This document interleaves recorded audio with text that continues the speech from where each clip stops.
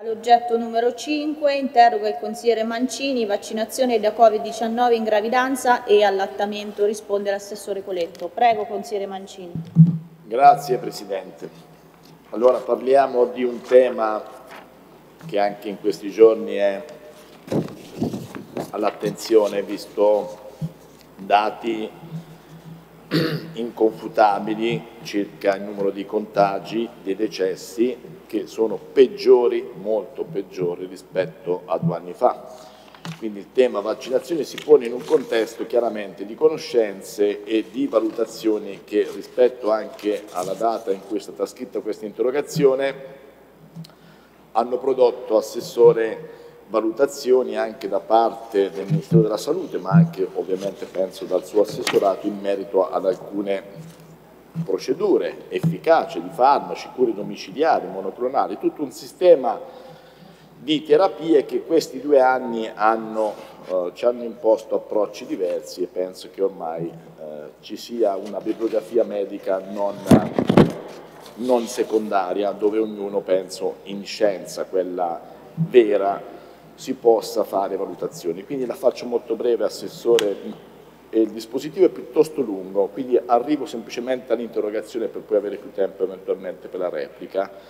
Si interroga la Giunta regionale sulle soluzioni organizzative adottate all'interno dei reparti di ostetricia degli ospedali umbi per garantire alle donne in gravidanza un parto in sicurezza, sia nel caso di positività al Covid sia in caso di negatività sui dati a disposizione del nucleo epidemiologico regionale in merito alla somministrazione dei vaccini Covid-19 alle donne umbre in stato di gravidanza durante diverse epoche di gestazione durante l'allattamento, sull'attività di monitoraggio svolte dalla Regione Umbre eventuali riscontri al fine di valutare l'efficacia e la sicurezza delle vaccinazioni da Covid-19 per le donne in gravidanza e in allattamento. Tra l'altro sto leggendo il bugiardino di eh, Pfizer, se è in corso una gravidanza o se sospetta una gravidanza informi il medico, l'infermiere e così via.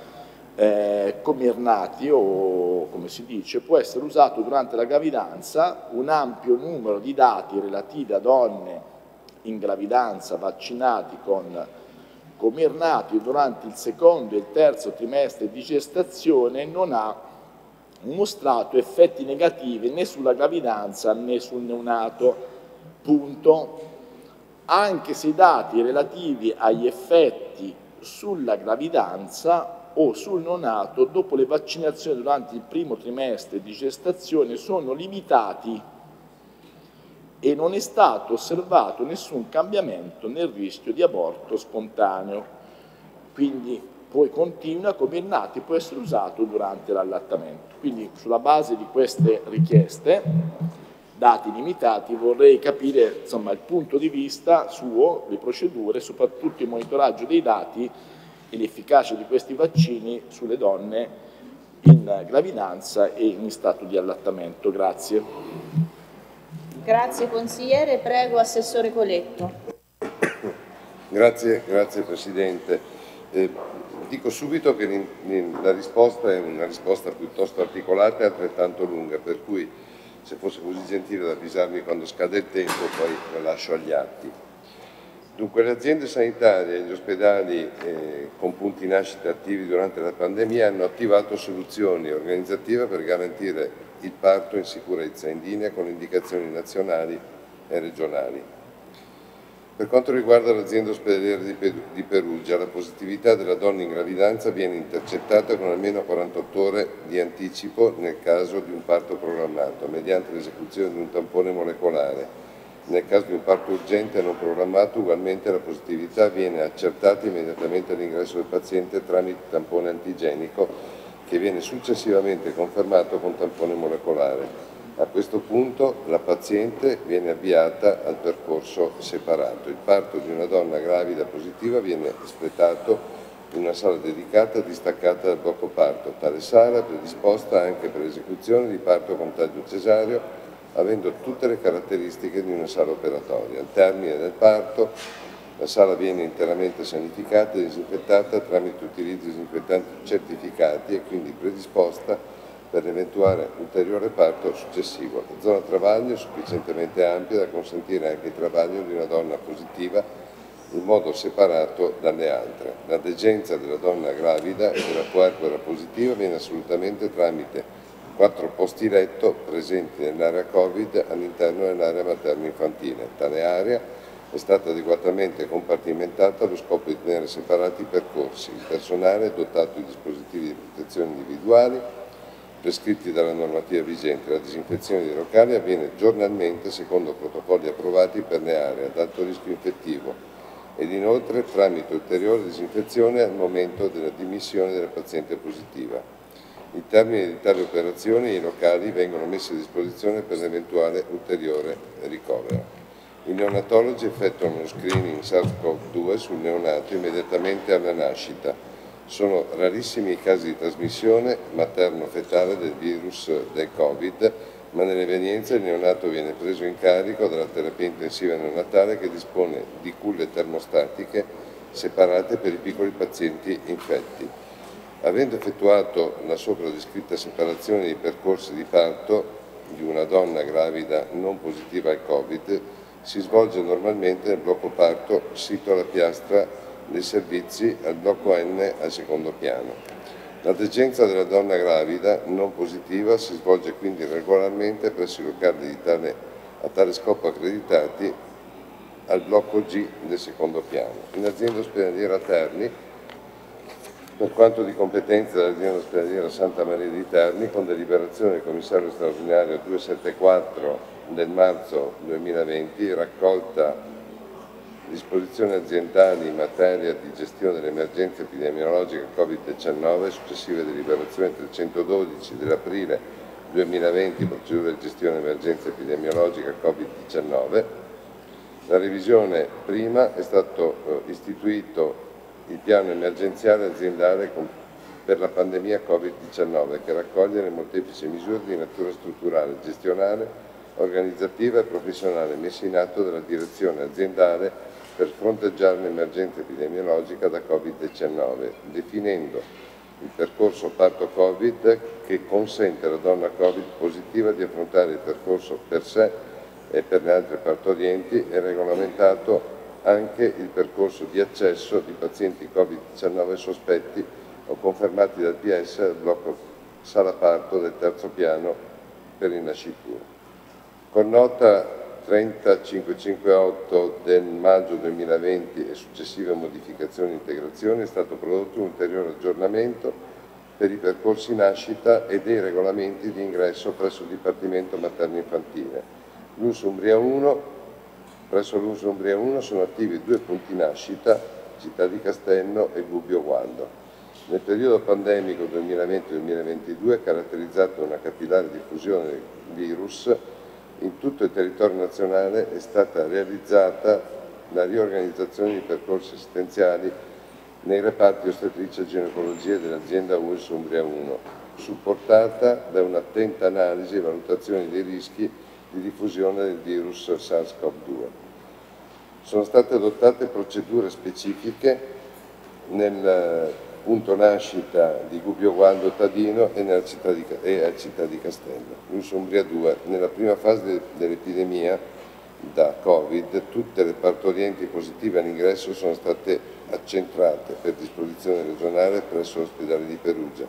I pochi parti avvenuti in quel periodo presso le nostre strutture erano da considerarsi emergenziali da non consentire il trasporto a Perugia. I parti in isolamento e l'isolamento delle partorienti sono stati comunque eseguiti seguendo disposizioni interne che sono state contenute nel documento di valutazione del rischio biologico e che da gennaio 2022 sono diventate operative anche per le pazienti non urgenti, a seguito di nota regionale che disponeva l'espletamento del parto di paziente Covid positiva presso tutte le strutture con punto nascita. Presso l'ospedale di Orvieto L'ostetricia e ginecologia utilizza per l'isolamento delle pazienti positive una stanza e due posti letto corrispondenti all'ultima stanza di degenza del reparto di ostetricia, mentre i parti sono espletati presso la sala operatori di piccoli interventi che hanno un accesso dedicato esterno al blocco operatorio e non è situata nel blocco parto della struttura ospedaliera. Presso l'ospedale di Foligno attiva una sezione Covid di ostetricia in un'area dedicata con stanze singole. Il percorso di accesso alla zona e alla sala parto dedicata è isolato.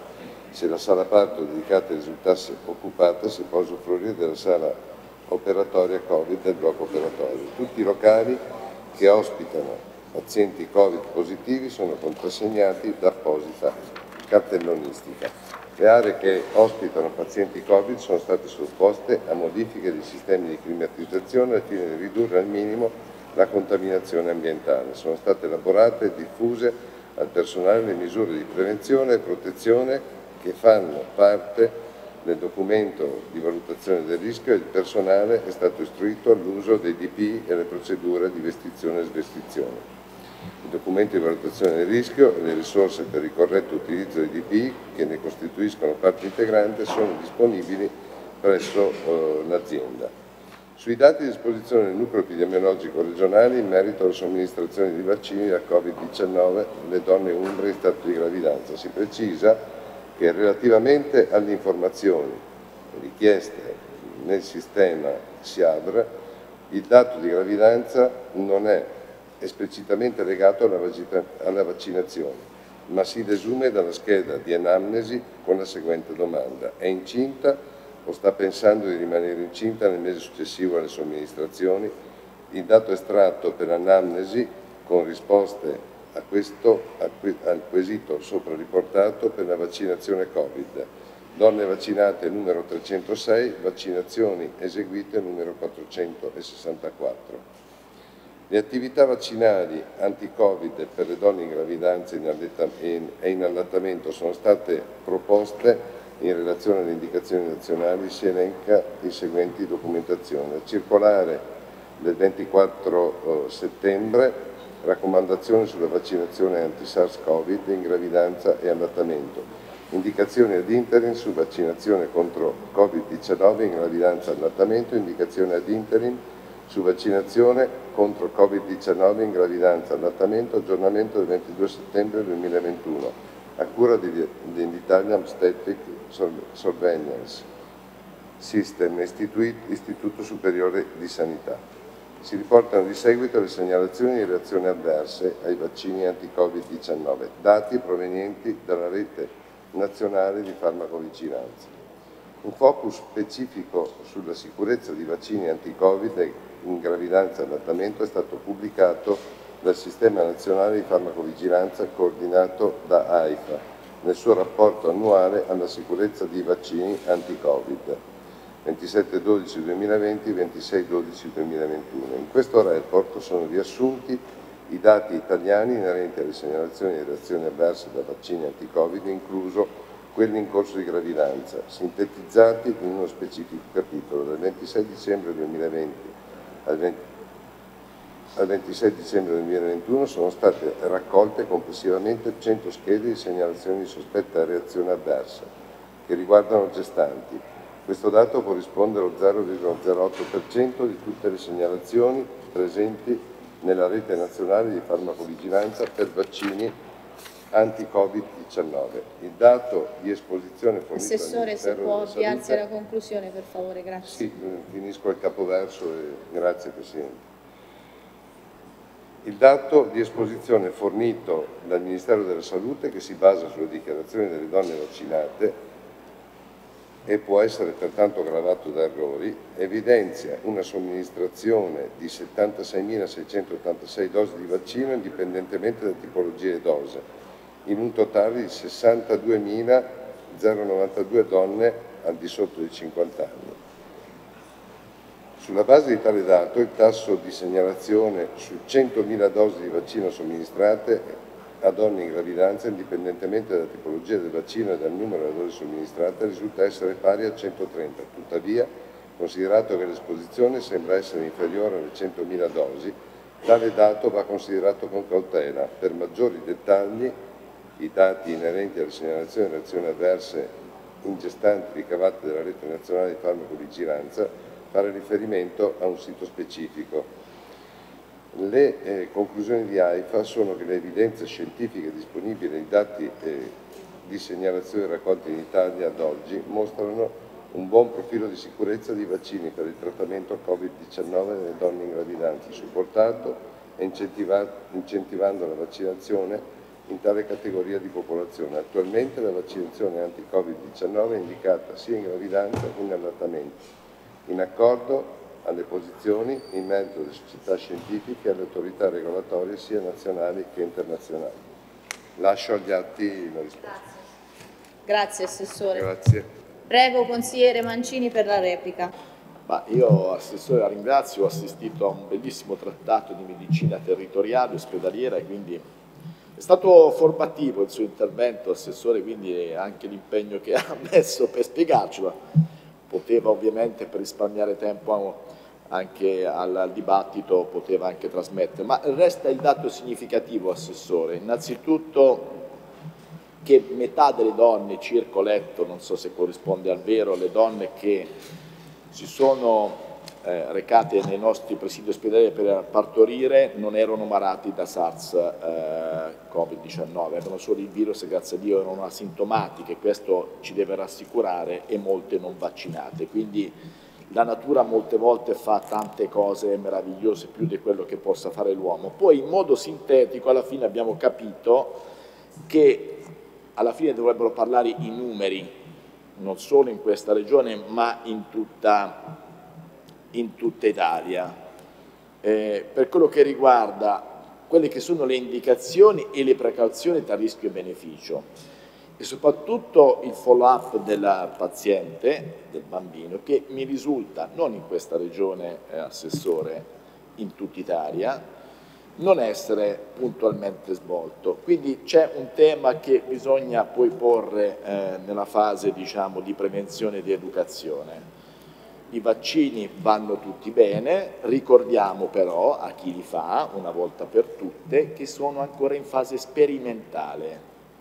Sperimentale, cioè soggetti a cui viene messo un farmaco in fase di sperimentazione la più grande dell'umanità, in fase 3-4 e, se ben ricordo, Assessore mi può correggere anche in diretta, su due dosi e non su tre e non su quattro. Quindi bisogna stare un po' attenti, quindi valutare sempre quello che in medicina si chiama principio di precauzione ed è quello che invito in generale a chi svolge un'attività medica, chi fa sanità pubblica a valutare il principio di precauzione. Ora io ovviamente non sono un medico, però quello che eh, viene pubblicato oggi nei giornali e che sta, sta, girando un po' nei social e anche nei quotidiani è che in Danimarca i medici hanno valutato che vaccinare i bambini forse non è stato particolarmente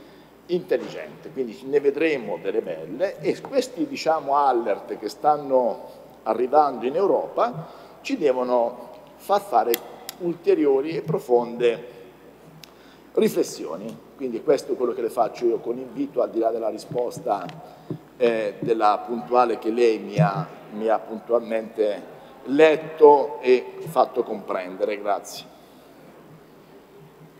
Grazie consigliere. Passiamo all'oggetto numero 6, Istituto Prosperius Tiberino, stato attuazione della legge regionale 10 del 23-6-2021. Interroga il vicepresidente Vettarelli, risponde l'assessore Coletto. Prego consigliere Vettarelli.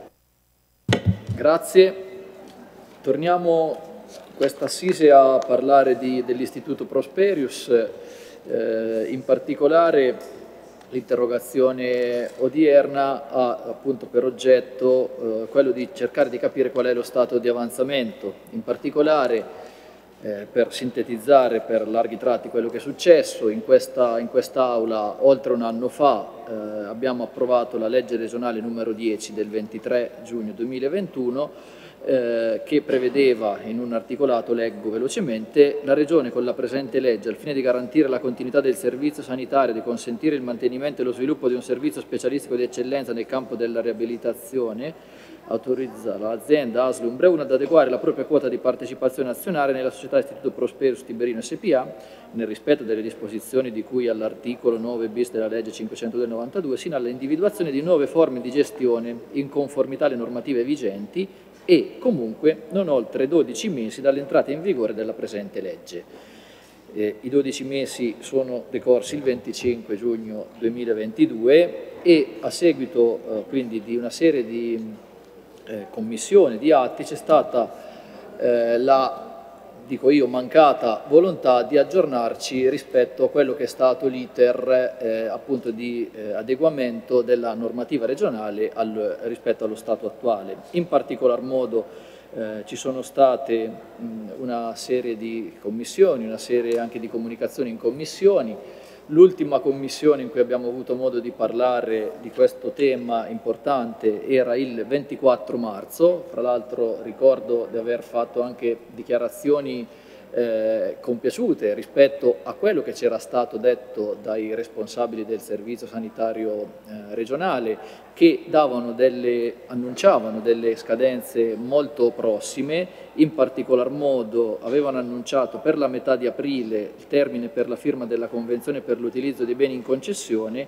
e dentro la fine del mese sempre di aprile la data per la sottoscrizione del preliminare. Queste sono estratti dai verbali della, della Commissione stessa. Quindi c'erano tutte le prerogative per chiudere eh, questo, questo, iter procedurale e appunto entro, entro, i 12 mesi. Invece è da eh, dopo Pasqua, quindi da fine aprile, primi eh, di maggio, che chiedo, sollecito la convocazione della Commissione per sapere lo stato di avanzamento e questa ad oggi non è stata ancora possibile, quindi mi sono trovato costretto a chiedere in consiglio all'assessore quali sono insomma, le, diciamo, eh, le, motivazioni per cui intanto non, non abbiamo aggiornamenti e stante il fatto che non ci sono aggiornamenti, quali sono le operazioni, le attività, le azioni politiche, procedurali, amministrative che sono, che sono state messe in atto.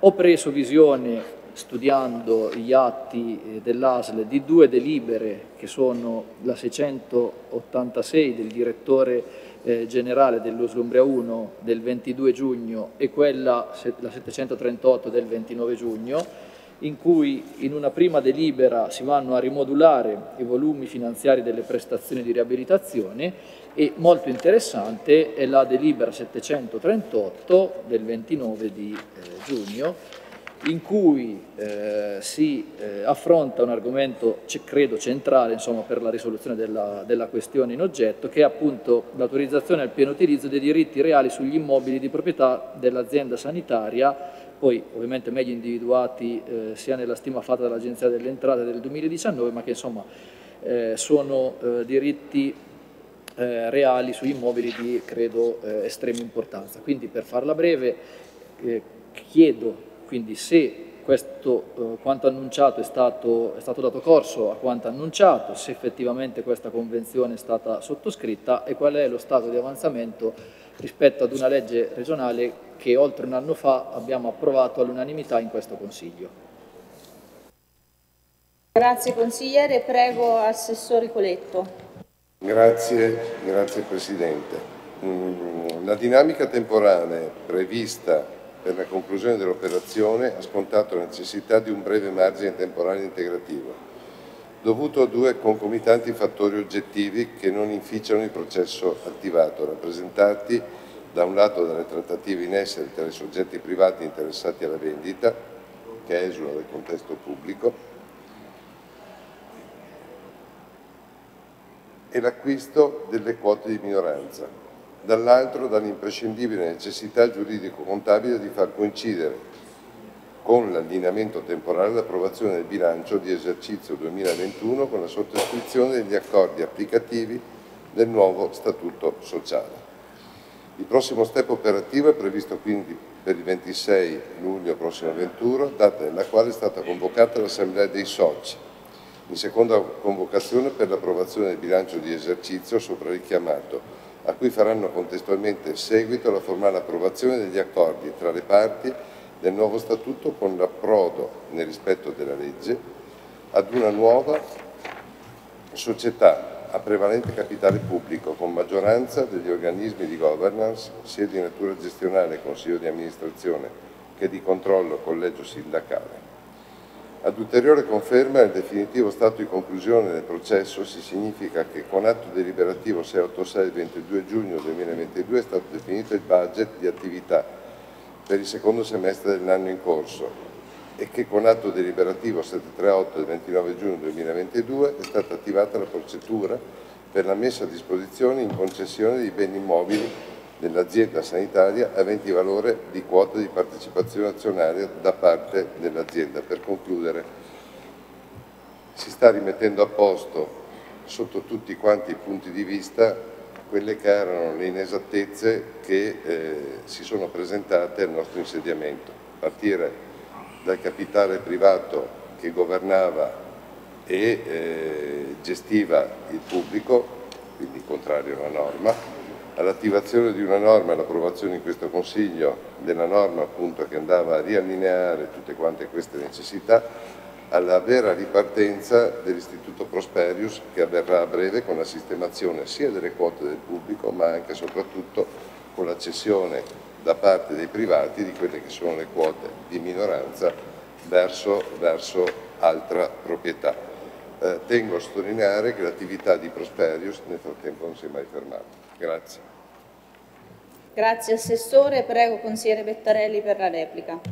Una replica molto veloce, eh, nella, dire, nella, forma rispetto alle considerazioni che ha fatto l'assessore, a maggior ragione non capisco le motivazioni per cui non c'è data la possibilità di convocare la terza commissione, visto che l'assessore ha annunciato anche una tempistica di elementi eh, di tutta rilevanza ed importanti, quindi eh, insomma, nella consapevolezza di dare date ed elementi certi, credo che questi elementi avremmo potuto averli anche in commissione, insomma, senza eh, andare ad interferire su chissà quali eh, trattative o su chissà quali iter procedurali.